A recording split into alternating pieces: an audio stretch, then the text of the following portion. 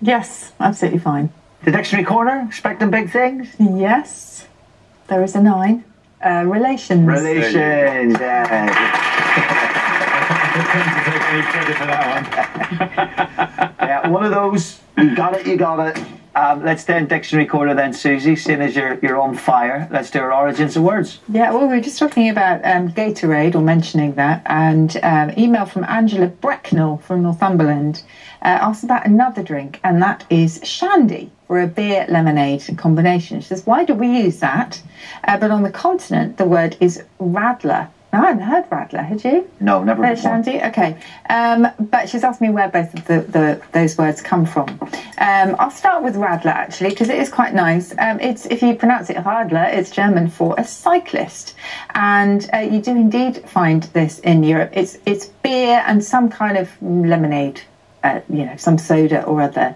Um, and originally it was a Radler Mass, which means a, a cyclist litre, really. And apparently it was created by an innkeeper um, in a small village just outside Munich.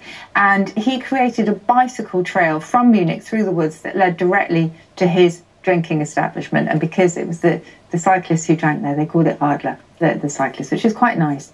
Shandy is a little bit more elusive. We know in full it was Shandy Gaff. That was the, the name in full for the shandy. And if you go back to um, a report of a magistrate's proceedings, so court proceedings from the 17th of April in 1842, uh, there is talk about a tailor being brought before the court because he was drunk and disorderly, having imbibed four pints of this shandy gaff. So this is when it is, is pretty much first mentioned.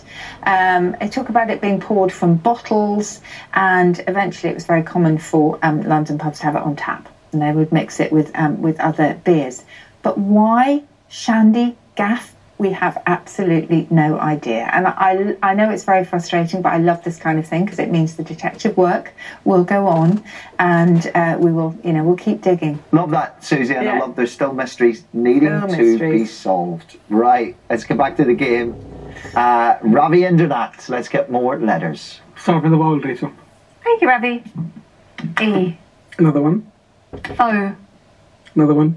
I.